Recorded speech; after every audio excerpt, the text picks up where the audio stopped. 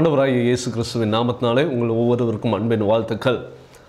இந்த நாளிலும் விசேஷமாய் ஆண்டவர் சில காரியங்களை நம்மோடு கூட பேச விரும்புகிறார். முதலாவது காரியம் என்ன அப்படின்னு சொன்னால் விசுவாசிகள் என்று சொல்கிற நாம் எப்படி இருக்கிறோம்? இந்த காலகட்டத்தில் அநேக இடங்களில் விசுவாசிகள் எப்படி இருக்கிறோம் என்பது மிகவும் முக்கியமாக இருக்கிறது.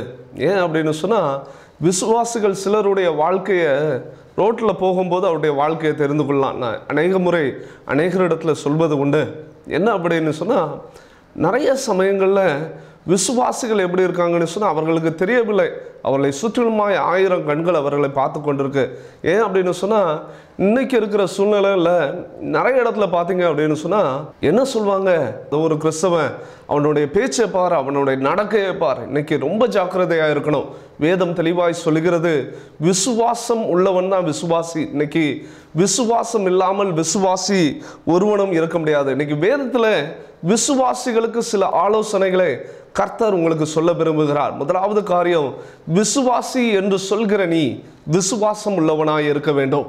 இன்னைக்கு வேதத்தில் வசனம் சொல்லுகிறது நீ விசுவாசம் உள்ளவனாய் இந்த மலையை பார்த்து பெயர்ந்து போ என்று சொல்லும்போது அது பெயர்ந்து போகும். எப்போ அப்படின்னு சொன்னால் விசுவாசம். இன்னைக்கு நிறைய சமயங்களில் சபைகள்லேயும் சரி அநேக இடங்கள்லையும் விசுவாசம் இல்லாமல் போய் கொண்டு இருக்கு எதுக்கு இதை சொல்கிறேன்னா விசுவாசம் அப்படின்னு சொன்னால் சிம்பிள் விசுவாசம்னா என்ன அப்படின்னு சொன்னால் இன்னைக்கு நிறைய பேரை வியாதியஸ்தர்கள் நம்மை சுற்றிலுமாக இருப்பாங்க. நம்ம வீட்டு பக்கத்தில் அருகாமையில் அநேக வியாதியஸ்தர்கள் இருப்பார்கள்.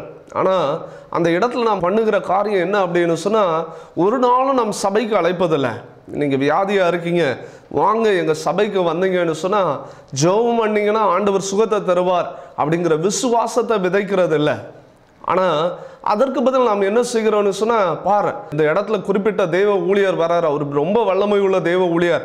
அவர் வந்து ஜெபிச்சார்னு சொன்னால் அவங்களுக்கு அற்புதம் நடக்கும் அப்படின்னு சொல்லி பெரிய ஒரு ஊழியக்காரர்கள் என்று சொல்லி நாம் அவர்களை கூட்டத்திற்கு அழைத்து செல்கிறோம். இன்னைக்கு ஆண்டவர் சொல்கிற காரியம் எப்பொழுது அற்புதம் நடக்கும் அப்படின்னு சொன்னால் வேதத்தில் தெளிவாய் சொல்கிறது என்னவென்று சொன்னால் உன் விசுவாசம் உன்னை ரட்சித்தது மற்ற ஒன்பதாவது அதிகாரம் இருபது இருபத்தி ரெண்டு வசனத்திலே நீங்கள் வாசித்தீர்கள் என்று சொன்னால் பன்னிரெண்டு வருடம் பெரும்பாடும் உள்ள ஸ்திரீ இடத்துல நடக்கிறது என்ன அப்படின்னு சொன்னால் அந்த ஸ்திரீ அவளுடைய வஸ்திரத்தை தொட்டால் தொட்ட மாத்திரத்தில் அவர் இடத்திலிருந்து அந்த இடத்துலேருந்து ஒரு வல்லமை புறப்பட்டு சென்றது. அப்பொழுது அந்த இடத்துல ஆண்டவர் வல்லமை புறப்பட்டு சென்றதை கவனிக்கிறாரு. அந்த இடத்துல கேட்கும்போது அந்த ஸ்ரீயை பார்த்து சொல்கிறார் உன் விசுவாசம் உன்னை ரட்சித்தது. அந்த கணமே சுவஸ்தமானால் இன்னைக்கு நிறைய சமயங்களில் நான் விசுவாசிகள் பண்ணு பண்ணுகிற காரியம் என்ன அப்படின்னு சொன்னால் போதகர்னு ஒருத்தங்க இருக்காங்க. அவர்களை நம்பி ஒரு நாளும் என்ன பண்ண மாட்டாங்க அப்படின்னு சொன்னால் சபைக்கு நேராக கொண்டு போக மாட்டேங்காங்க பக்கத்தில் இருக்கவங்க ரொம்ப உடல் பலவீனமாக இருக்கிறாங்க ரொம்ப வியாதிப்பட்டு இருக்கிறாங்க. ஆனால் ஒரு நாளும் என்ன பண்ண மாட்டோம் அப்படின்னு சொன்னால் அவளுக்கு சுவிசேஷத்தை சொல்ல மாட்டோம். ஒரு விசுவாசத்தை விதைக்க மாட்டோம். இன்னைக்கு எந்த இடத்துல விசுவாசம் விதைக்கப்படுகிறதோ அங்கே அற்புதம் நடக்கும். ஒருவேளை நீங்கள் ஏதோ ஒரு பெரிய ஊழியக்காரர்களுடைய கூட்டத்திற்கு அவர்களை அழைத்து சொல்ல முற்படுகிற நீங்கள் உங்களுடைய சபைக்கு விசுவாசத்தை விதைத்த அந்த குறிப்பிட்ட நபருக்கு நீ ஏன் சபைக்கு வந்து பார். அந்த இடத்துல நீ வந்தனா ஆண்டவர் அந்த இடத்துல சுகம் தருவார் அப்படின்னு சொல்லி பாருங்களேன். அந்த இடத்துல அவர்கள் விசுவாசத்தை நீங்கள் விதைக்கிறீங்க. அந்த விசுவாசத்தை நீங்கள் விதைக்கும் போது அவர்களுடைய இருதயத்தில் ஒரு நம்பிக்கை வருது. இந்த இயேசு எனக்கு என் வாழ்க்கையில் அற்புதம் செய்வார் என்கிற ஒரு நம்பிக்கை. அந்த நம்பிக்கை வந்த மாத்திரத்தில் அவள் சபைகளுக்குள்ளே கடந்து வரும்போது அந்த இடத்துல அவருடைய விசுவாசம் அவர்களை ரட்சித்து எப்படிப்பட்ட நோயாக இருந்தாலும் சரி அந்த நோயிலிருந்து ஒரு விடுதலையை தருகிறது. அருமையானவர்களே இதை கேட்டுக்கொண்டு இருக்கிற நீங்கள் உங்களுடைய விசுவாசம் எப்படி இருக்கிறது? உங்களுடைய விசுவாசம் கடுகு அளவு இருந்ததுன்னு சொன்னால் நீங்கள் இந்த வேலையில் நீங்கள் அந்த விசுவாசத்தை விதைக்கிறவர்களாய் மாற வேண்டும்.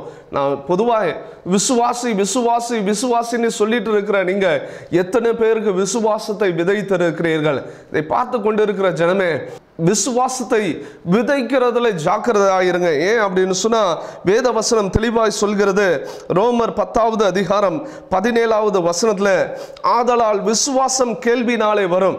கேள்வி தேவனுடைய வசனத்தினாலே வரும். இன்னைக்கு தேவனுடைய வசனத்தை வாசிக்கும் போது ஆண்டவர் அந்த இடத்துல அவர்களுக்கு விசுவாசத்தை கட்டளையிட்டு உங்கள் விசுவாசம் அந்த இடத்துல கேள்வியினாலே வரும். கேள்வி தேவனுடைய வசனத்தினாலே வரும். வசனமானது ஒரு விசுவாசத்தை கொண்டு வரும். நீங்கள் விசுவாசத்தை அவருடைய வாழ்க்கையில் நீங்கள் கொண்டு வரும்போது அந்த இடத்துல ஒரு பெரிய அற்புதத்தை நீங்கள் காண்பீங்க. அந்த விசுவாசம் ரொம்ப தேவை. வேதத்தில் நம்ம ஆபரகாமை குறித்து வாசிக்கும் போது அவனை குறித்து சொல்கிறோம் விசுவாசத்தின் தகப்பன். ஏனென்று சொன்னால் அந்த சம்பவம் எல்லாருக்கும் தெரிந்த ஒரு சம்பவம் தான் ஈசாக்கு அந்த இடத்துல ஆண்டவர் பலியிட மோரியா என்னும் தேசத்தில் உள்ள ஒரு மலைக்கு கொண்டு போ என்று சொன்னபோது அவன் விசுவாசத்தோட அந்த இடத்துல கொண்டு போகிறான். கையில் எதுவும் கொண்டுட்டு போகலை. ஆனால் அந்த இடத்துல பார்த்தீங்கன்னு சொன்னால் அவனை படுக்க வைக்கிறான். ஒரு பலிபீடத்தை கட்டி அந்த இடத்துல படுக்க வைக்கிறான். கத்தியை ஓங்கும்போது அந்த இடத்துல அவனுடைய கடைசி நேரம் வரை அவனுக்கு விசுவாசம் இருந்தது. அதே போல் ஈசாக்குக்கும் பார்த்தீங்கன்னு சொன்னால் அப்படிப்பட்ட ஒரு விசுவாசம் இருந்தது. அந்த இடத்துல விசுவாசத்தை ஆண்டவர் பார்த்து பிள்ளை ஆண்டான் மேல் உன் கத்தியை போடாதே அப்படின்னு சொன்னார். அந்த மாத்திரமே கொஞ்ச நேரம் கூட ஆகலை. தூரத்தில் பார்க்கிறார்கள் அங்கே ஒரு ஆடு. அந்த ஆடை பலியிட்டு அந்த இடத்துல விசுவாசத்தோடு எப்படி வீட்டிலிருந்து சொல்லி போனாங்களா நாங்கள் திரும்ப வருவோம்னு சொல்லி. அதே போல திரும்ப சென்றாங்க இன்னைக்கு விசுவாசம் அப்படிப்பட்ட விசுவாசமாக இருக்க வேண்டும். ஏன் அப்படின்னு சொன்னா வேத வசனம் தெளிவாய் சொல்லுது யாக்கோபு இரண்டாவது அதிகாரத்தில் விசுவாசம் இல்லாத கிரியை செத்ததாக இருக்கிறது. இன்னைக்கு விசுவாசம் இல்லை என்று சொன்னா எவ்வளவு கிரியைகள் நம்முடைய வாழ்க்கையில் இருந்தாலும் அது செத்த கிரியையாக இருக்கும். அடுத்த காரியம் வேத வசனம் சொல்கிறது. யாக்கோபு ஐந்தாவது அதிகாரத்தில் பதினைந்து பதினாறாவது வசனம். அப்பொழுது விசுவாசம் உள்ள ஜெபம் பிணியாளியை ரட்சிக்கும். கர்த்தர் அவனை எழுப்புவார். அவன் பாவம் செய்ததினால் அது அவனுக்கு மன்னிக்கப்படும். அவன் பாவம் செய்தவனாக இருந்தானா அது அவனுக்கு மன்னிக்கப்படும். இன்னைக்கு வேத வசனம் தெளிவாய் சொல்கிறது இதுதான். ஆண்டவர் உன்னை விசுவாசி என்று சொல்லி அழைத்திருக்கிறாரா? நீ எத்தனை பேருக்கு விசுவாசத்தை விதைத்திருக்கிறாய்? ஏன் அப்படின்னு சொன்னா விசுவாசமானது பிணியாளியை ரட்சிக்கும். அதே போல வியாதியை நீக்கும். இன்னைக்கு உங்கள் வாழ்க்கையில அநேக காரியத்தை குறித்து நீங்கள் யோசனை பண்ணி கொண்டு இருக்கலாம் ஒருவேளை உங்கள் வாழ்க்கையில் அநேக காரியங்கள் உங்களை அழுத்தி கொண்டு இருக்கலாம் இன்னைக்கு ஒருவேளை உங்கள் வாழ்க்கையில் பிரச்சனைகள் அதிகரித்து கொண்டு போகலாம். உங்களுடைய விசுவாசம் உங்களை ரட்சிக்கும். இன்னைக்கு நிறைய சமயத்தில் நாம் பார்த்தோன்னு சொன்னால் வேத வசனத்தை மறந்து போகிறோம். வேதவசனம் சொல்கிறது நீ அநேக ஜாதிகளுக்கு கடன் கொடுப்பாய் கடன் வாங்காதிருப்பாய்னு சொல்லி. ஆனால் சில சமயத்தில் நாம் கடன் படுகிற போது அடுத்த நாள் லோன் கட்டணும் அப்படிங்கிற ஒரு சூழ்நிலைமையில் நம்முடைய கண்கள் எதை நோக்கி போய் கொண்டு இருக்கு நம்முடைய கண்கள் யாருக்கிட்டையாவது போய் கடன் வாங்கலாமா? யாருக்கிட்டையாவது நம்ம போய் வட்டிக்கையாவது வாங்கி அந்த கடனை அடைக்கலாமா? இந்த சூழ்நிலை. இன்னைக்கு ஆண்டவர் சொல்றாரு உங்களுக்கு எத்தனை லட்சங்கள் கடன் இருந்தாலும் சரி எத்தனை கோடிகள் கடன் இருந்தாலும் உங்களுடைய விசுவாசம் உங்களை ரட்சிக்கும். ஒரு முறை ஒரு ஊழியக்காரரை சந்திக்க நேரிட்டது. அவர் என்னிடத்துல வந்தார். அவர் வந்து சொல்லும்போது ஒரு குறிப்பிட்ட ஒரு பத்திரிகை ஊழியத்தை ஆரம்பித்திருக்கிறேன். அந்த பத்திரிகை ஊழியத்திற்கு இவ்வளவு தொகை தேவைப்படுகிறதுன்னு சொன்னார். அந்த சமயத்தில் அவர் என்கிட்ட கேட்ட காரியம் என்ன அப்படின்னு சொன்னால் இவ்வளவு பெரிய தொகை எங்களுக்கு தேவைப்படுகிறது. உங்களால் முடிஞ்சதுன்னு சொன்னால் யாராவது ஒரு ஸ்பான்சரை ஏற்படுத்தி தாங்க அப்படின்னு சொல்லி என்கிட்ட கேட்டார்.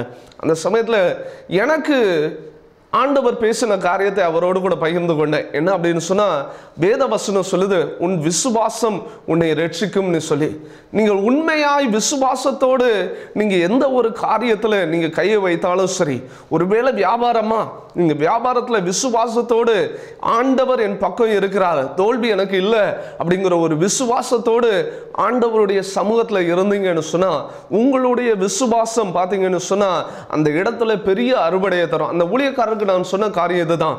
பிரதர் ஆண்டவர் உங்களை அழைத்தார்னு சொன்னா கண்டிப்பா உங்க தேவைகளை சந்திப்பாரு. ஒரு நாள் உங்களை கைவிட மாட்டார். இன்னைக்கு அதே காரியத்தை தான் நான் உங்களுக்கு சொல்கிறேன். ஆண்டவர் உங்களை முன் குறித்திருக்கிறார் நீங்கள் எந்த மனிதனிடத்துல போய் எனக்கு இதைத்தான் அதைத்தான்னு சொல்லி கேட்க தேவையில்ல. உண்மையிலே ஆண்டவர் உங்களை அழைத்தார் என்று சொன்னால் அழைத்த தேவன் உண்- உண்மை உள்ளவர். ஏன் அப்படின்னு சொன்னால் உங்களை தாயின் கற்பத்தில் உருவாகும் முன்னே அவர் உங்களை பெயர் சொல்லி அழைத்தார். உங்கள் விசுவாசத்தை ஆண்டவர் ஒவ்வொரு நாளும் கவனித்து கொண்டிருக்கிறார். அடுத்த வசனம் சொல்கிறது. யாக்கோபு ஐந்தாவது அதிகாரம் பதினாறாவது வசனம் நீங்கள் சொஸ்தமடையும்படிக்கு உங்கள் குற்றங்களை ஒருவருக்கொருவர் அறிக்கையிட்டு ஒருவருக்காக ஒருவர் ஜெபம் பண்ணுங்கள். நீதிமான் செய்யும் ஊக்கமான வேண்டுதல் மிகவும் பலனுள்ளதாக இருக்கிறது. இன்னைக்கு நீதிமான் செய்கிற ஊக்கமான வேண்டுதல் அது மிகவும் பலமுள்ளதாக இருக்கிறது. இன்னைக்கு ஆண்டவர் சொல்கிற காரியம் உங்கள் விசுவாசத்தில் நிலைத்திருங்க.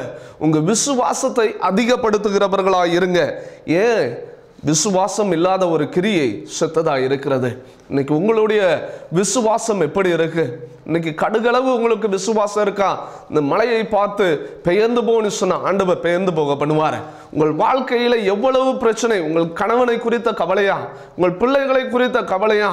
உங்களை சுற்றிலுமாய் உங்கள் எல்லைகளை மற்றவர்கள் அபகரிக்கிற நினைக்கிற ஒரு கவலையா? எத்தனை கேஸ் இருந்தாலும் சரி ஆண்டவர் சொல்கிற காரியம் ஆண்டவரை உறுதியாய் பிடித்துக் கொள்ளுங்க. இயேசுவை உறுதியா பிடித்துக் கொள்ளுங்க. இயேசுதான் எனக்கு எல்லாம். ஆண்டவரே நான் யாக்கோப போல உடைய காலை நான் பிடிச்சிட்டு விடமாட்டேன்.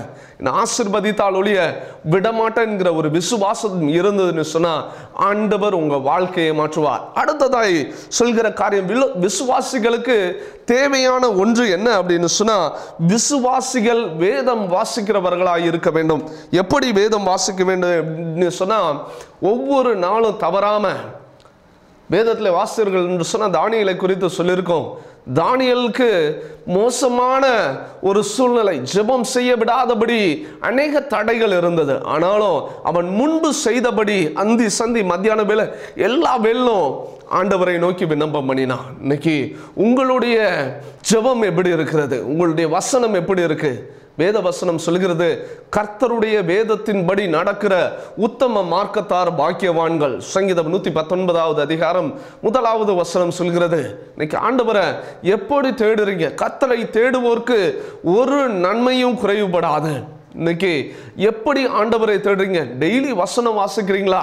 உங்களுடைய வேதம் என் கால்களுக்கு தீபம் என் பாதைக்கு வெளிச்சம். இன்னைக்கு ஆண்டவர் வேதத்தின்படி நடந்தீங்கன்னு சொன்னால் ஆண்டவர் ஒவ்வொரு நாளும் உங்களை ஆசிர்வதிப்பார். எப்படி வேதம் வாசிக்கிறீங்க? இன்னைக்கு வேதம் வாசிக்கிறதுல அநேக குறைகள் உண்டு. ஒரு முறை ஒரு மனிதன் இவ்வாறு அவசர அவசரமாக வேலைக்கு செய்ய கிளம்பின ஒரு மனிதன் தன்னுடைய வேதத்தை எடுத்தானா? வேதத்தை எடுத்து இன்னைக்கு நிறைய பேருக்கு ஒரு பழக்கம் உண்டு. என்ன அப்படின்னு சொன்னால் வேதத்தை வாசிக்கிறதுல ஒரு அஜாக்கிரதை. என்ன கேலண்டரில் என்ன வசனம் போட்டிருக்காங்க அதை வாசிப்பாங்க. இல்லாட்ட பைபிளை ஓப்பன் பண்ணி என்ன வசனம் இருக்கோ அதை வாசிப்பாங்க. அப்படி ஒரு மனிதன் செய்தான். என்ன அப்படின்னு சொன்னால் வேதத்தை முதலாவது திறந்து ஒரு வசனத்தை வாசித்தான். வேலைக்கு டைம் ஆயிடுச்சு. இன்னைக்கு நிறைய பேர் யோசிக்கிறது தான். வேலைக்கு டைம் ஆகிடுச்சு நேரம் போயிட்டே இருக்கு. பைபிள் வாசிக்கணும். அதனால் அவசர அவசரமாக திறக்கிறது. முதலாவது வசனம் எடுத்து வாசித்தான் யூதாஸ் நாண்டு கொண்டு செத்தான் அப்படின்னு சொல்லி. இவனுக்கு பயங்கர கோபம். நான் காலையிலேயே வேலைக்கு போகிறேன் முத வசனமே யூதாஸ் நாண்டு கொண்டு செத்தானா? இது என்ன இப்படி இருக்கு அப்படின்னு சொல்லி ரொம்ப கஷ்டமாயிடுச்சு. அடுத்தது சொன்ன ஆண்டவரே நான் வேலைக்கு போன ஆண்டவரே நல்ல ஒரு வாக்குத்தத்த வசனமாக என் வாழ்க்கைக்கு தாங்க. இன்னைக்கு நாள் ஃபுல்லாக ஆசீர்வாதமாக இருக்கணும். நல்ல வசனமாக இருக்கணும்னு சொல்லி திரும்பவும் திறந்தான். அந்த வசனம் சொல்லுது அந்தபடியே நீயும் செய் அப்படின்னு சொல்லி. இவனுக்கு பயங்கர கோபம்.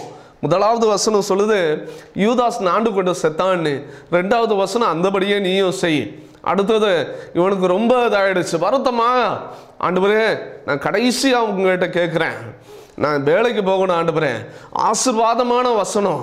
இன்னைக்கு நிறைய சமயத்தில் இப்படி தான் நிறைய சமயத்தில் வாக்குத்தத்த வசனம் அப்படின்னு சொல்லி நம்ம கிளி ஜோஷியம் பார்க்குறவர்கள் மாதிரி நம்ம ஆகி போயிடுறோம். இன்னைக்கு கடைசியாக அந்த மனித சொன்ன ஆண்டவரே ஒரே ஒரு முறை இந்த முறையாவது எனக்கு நல்ல வசனம் வேண்டும். முத வசனம் யூதாஸ் நாண்டு கொண்டு செத்தான். ரெண்டாவது அந்தபடியே நீ செய் நீ வசனம் வந்திருக்கு. இந்த சமயமாவது நல்ல வசனம்னு சொல்லி திரும்பமா பைபிளை மூடுறான். பைபிளை மூடி திறந்தான். செய்ய இருக்கிறதை சீக்கிரமாய் செய் அப்படின்னு சொல்லி வசனம் வந்தது. அவனுக்கு பயங்கர கோபம். இன்னைக்கு இது கோபப்படுவதற்கோ சிரிப்பதற்காகவும் அல்ல. வேத வசனத்தை குறித்து சொல்லுது.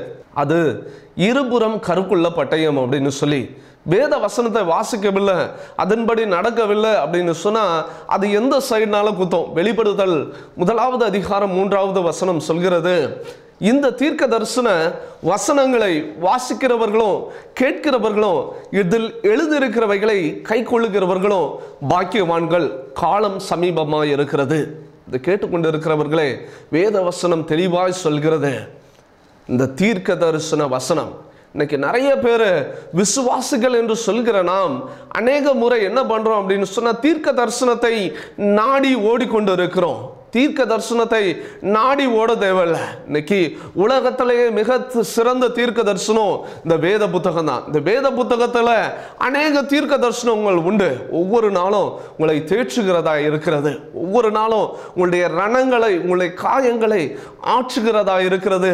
தேவனுடைய வசனம். தேவனுடைய வசனத்தை ஜாக்கிரதையாய் வாசிக்க வேண்டும். இன்னைக்கு நம் நிறைய சமயத்தில் சொல்கிறோம் ஆண்டவரே உங்களுடைய வசனம் ஒவ்வொரு நாளும் என் வாயை விட்டு பிரியாதிருப்பதாக. ஆனால் நிறைய சூழ்நிலையில் விசுவாசிகளுடைய வசனங்கள் எப்படி இருக்கு? இன்னைக்கு யோசித்து பாருங்க. உங்களுடைய வசனம் ஆண்டவர் சொல்லியிருக்கிறாரு. ஆண்டவருடைய வசனத்தை இறுக பற்றி கொள்ள வேண்டும். இந்த தீர்க்க தரிசனத்தை வாசிக்கிறவனும் மாற்றம் இல்லை அதை கேட்கிறவனும் அதை கேட்கணும். அந்த வசனத்தை வாஞ்சியாக உட்கார்ந்து கேட்கணும். அடுத்த காரியம் சொல்லுது அதில் எழுதி இருக்கிறவைகளை கை கொள்ள வேண்டும். அது ரொம்ப முக்கியமானது. இன்னைக்கு வேத வசனம் அநேக கட்டளைகளை கற்பனைகளை கொடுத்திருக்கிறது. வேத வசனம் சொல்லுது சங்கீதம் நூற்றி பத்தொன்பதாவது அதிகாரத்தில் வாலிபன் தன் எதன் வழியை எதனால் சுத்தம் பண்ணுவான்? உம்முடைய வசனத்தின்படி தன்னை காத்து கொள்கிறதுனால் தானே? இன்னைக்கு எல்லாம் இருக்கு வசனம். ஆனால் அதை நம்முடைய வாழ்க்கையிலே அப்பிரயாசப்படுத்துகிறது இல்லை நம்ம வாழ்க்கையில் அப்பிரயாசப்படுத்தணும். ஒவ்வொரு நாளும் ஆண்டவரே நம்முடைய வேத வசனம் என்னுடைய இருதயத்தை விட்டு பிரியக்கூடாது ஆண்டவரே அப்படின்னு சொல்கிற ஒரு விசுவாசியாய் நீங்கள் இருக்க வேண்டும். ஒவ்வொரு நாளும் ஆண்டவர்கிட்ட கேட்க வேண்டியது எல்லாம் ஆண்டவரே காலையில் எழுந்து வேதத்தை வாசிக்க எனக்கு ஒரு பலனை தாங்க. வேதத்தை இவ்வளோதான் வாசிப்பேன் அப்படின்னு இல்லை. நல்லா வாசிக்கணும். அதே சமயத்தில் இன்னைக்கு அநேக விசுவாசிகளுக்கு தெரியாத ஒன்று என்ன அப்படின்னு சொன்னால் இந்த அட்டவணை வேதத்தில் பார்த்தீங்கன்னு சொன்னால் அட்டவணைன்னு சொல்லுவோம். ஆதியாகமம் முதல் வெளிப்படுத்தல் வர ஆதியாகமம் யாத்திரையாகமம் லேவியராகமம் என்னாகும் உபாகமம் இப்படி எல்லா புத்தகங்களும் இன்னைக்கு நிறைய சமயத்தில் தெரியாமல் போயிடுது இன்னைக்கு வசனம் எந்த இடத்துல இருக்குது அப்படிங்கிறது தெரியாமல் நிறைய பேர் இருக்கிறோம். இன்னைக்கு ஆண்டவர் சொல்கிற காரியம் ஒவ்வொரு நாளும் வேதத்தை ஜாக்கிரதையாய் வாசிங்க. ஒருவேளை என்னுடைய வாழ்க்கையிலும் சரி உங்களுடைய வாழ்க்கையிலும் சரி வசனம் வாசிக்கிறது ஒரு குறையாக இருக்கும்னு சொன்னால் இந்த நாளில் ஆண்டவர் நம்மோடு கூட பேசுகிற காரியம் விசுவாசியே என்று சொல்லி கொண்டு இருக்கிற நீ உன்னுடைய வசன வாசிப்பு எவ்வளவு நேரம் இருக்கு? யோசனை பண்ணி பாருங்க. இன்னைக்கு இடைவிடாமல் தேவனை தேடுகிறவர்களாக இருங்க. அவருடைய வசனத்தை தேடி வாசிக்கிறவர்களாக இருங்க. அடுத்ததாய் இப்படி தான் ஒரு போதகர் ஒரு முறை என்ன பண்ணாரு? கல்யாண வீட்டுக்கு பிரசங்கம் பண்ண உயர்ந்தார். அந்த கல்யாண வீட்டில் பிரசங்கம் பண்ண போகும்போது அவர் பார்த்தீங்கன்னு சொன்னால் அன்பை குறித்து பேசிக்கொண்டு இருந்தார். கல்யாண வீட்டில் பிரசங்கம் நடக்குது. அங்கே பார்த்தீங்கன்னு சொன்னால் மணமகளும் மணமகளும் உட்கார்ந்துட்டு இருக்காங்க. அந்த மணமகன் மணமகளுக்கும் அவர் அன்பை குறித்து போதித்து கொண்டு இருக்கிறார். எப்படி அன்பாக இருக்கணும்? ஆண்டவர் அன்பாக இருந்தார். நீங்கள் ஒவ்வொருத்தருக்குள்ள அன்பாக இருக்கணும் விட்டு கொடுத்து வாழணும் இப்படின்னு சொல்லி அவர் ஒரு பிரசங்கத்தை பண்ணி கொண்டு இருந்தார் அவர் எப்படி பிரசங்கம் பண்ணார்னு சொன்னால் ஒரு தாளில் ஒரு சின்ன பேப்பரில் எல்லா வசனத்தையும் எழுதி வைத்து அவர் பிரசங்கம் பண்ணி கொண்டு இருந்தார் திடீர்னு பார்த்தீங்கன்னு சொன்னால் அவர் வைத்திருந்த பேப்பர் பார்த்தீங்கன்னு சொன்னால் பறந்து போயிடுச்சு. ஆனால் அவருக்கு ஞாபகம் இருக்கிறது எல்லாம் என்ன வசனம் அப்படின்னு சொன்னால் யோவான் நாலாவது அதிகாரம் பதினெட்டாவது வசனம். இது அவருக்கு ஞாபகம் இருக்குது ஆனால் அவர் சொல்ல வேண்டிய வசனம் என்ன அப்படின்னு சொன்னால் ஒன்று யோவான் நான்காவது அதிகாரம் பதினெட்டாவது வசனம். அந்த வசனம் சொல்லும் அன்பில்லை பயமில்லை பூரண அன்பு பயத்தை புறம்பே தள்ளும் இதுதான் அவர் எடுத்து வைத்திருந்த வசனம். அன்பிலே பயமில்லை பூரண அன்பு பயத்தை புறம்பே தள்ளும் இதுதான் அந்த தேவதாசன் எடுத்து வைத்திருந்த வசனம். அவர் பேப்பரில் எழுதியிருந்தாரு வசனமும் மறந்து போச்சு. இது என்ன அதிகாரம்னு சொன்னா ஒன்று யோவான் நான்காவது அதிகாரம் பதினெட்டாவது வசனம். ஆனா அவர் என்ன சொன்னாரு? அந்த மேடையில எடுத்து வாசிங்க. யோவான் நான்காவது அதிகாரம் பதினெட்டாவது வசனம் அப்படின்னு சொன்னாரு. அந்த வசனம் சொல்லும் உனக்கு ஏற்கனவே ஐந்து புருஷர்கள் இருந்தார்கள். இப்பொழுது இருப்பது உனக்கு புருஷன் அல்ல அப்படின்னு சொல்லி. இவனுக்கு நீங்க நல்லா யோசனை பண்ணி பாருங்க. ஒரு கல்யாண வீடு அந்த இடத்துல உனக்கு ஏற்கனவே ஐந்து புருஷன் இருந்தான். இப்போ இருப்பது உன் புருஷன் அல்ல அப்படின்னு சொன்னால் எவ்வளவு பெரிய பிரச்சனை வரும். இன்னைக்கு நிறைய சமயத்தில் இதே மாதிரி தான் இந்த ஊழியக்கார இந்த குறிப்பிட்ட ஊழியக்காரரை போல தான் வேத வசனத்தை சரியாய் வாசிக்கிறதில்ல. அல்ல ஒரு ஜாக்கிரதை இல்லாத ஒரு தன்மை. ஆண்டவர் சொல்கிற காரியம் ஒவ்வொரு நாளும் ஆண்டவருடைய வசனத்தை தேடி வாசிக்க வேண்டும். சங்கீதம் பத்தொன்பதாவது அதிகாரம் ஏழாவது வசனம் சொல்லுது தேவ வசனம் குறைவற்றதும் ஆத்மாவை உயிர்ப்பிக்கிறதுமாய் இருக்கிறது ஆண்டவருடைய வசனம் கர்த்தருடைய வசனம். இன்னைக்கு ஆத்மாவை உயிர்ப்பிக்க வேண்டுமா? நீங்க ஆண்டவருடைய வசனத்தை தேடி வாசிங்க. அடுத்ததாய் சங்கீதம் நூத்தி பத்தொன்பதாவது அதிகாரத்துல சொல்லுது வேதம் எனது மனமகிழ்ச்சி. இன்னைக்கு உங்க வாழ்க்கையில மனமகிழ்ச்சி நிறைந்து இருக்கணுமா விசுவாசி என்று சொல்கிற நீங்கள் ஒவ்வொரு நாளும் விசுவாசத்தோடு மாத்திரம் இல்லை வேத வசனத்தை தேடி வாசிக்கிறவர்களாக இருங்க வேத வசனத்தை தேடி வாசித்து விசுவாசத்தை உங்கள் வாழ்க்கையில் அதிகப்படுத்தும் போது ஆண்டவர் இப்பொழுது இருக்கிறதை பார்க்கலாம் இன்னும் அதிகமாய் உங்களை ஆசிர்வதிப்பார். ஏன் அப்படின்னு சொன்னால் ஆண்டவருடைய வசனம் உங்களை விட்டு விலகாமல் இருக்கிறது வரைக்கும் ஆண்டவர் உங்களை நித்திய நித்தியமாய் அவருடைய ஆசீர்வாதம் உங்களோடு கூட இருக்கும். அப்படி கண்களை மூடி நாம் ஜெபம் பண்ணலாம்.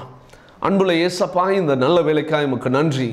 ஆண்டவரே இந்த வசனத்தை கேட்ட அருமையான பிள்ளைகள் ஆண்டவரே விசுவாசத்தை ஒரு நாளும் அவருடைய வாழ்க்கையில் இழந்து போகக்கூடாது. எத்தனை சூழ்நிலைமை அவன் மாறினாலும் சரி அவளுடைய விசுவாசம் ஒவ்வொரு நாளும் நிலை நிலைத்து நிற்கும்படியாய் நாங்கள் ஜெபிக்கிறோம்.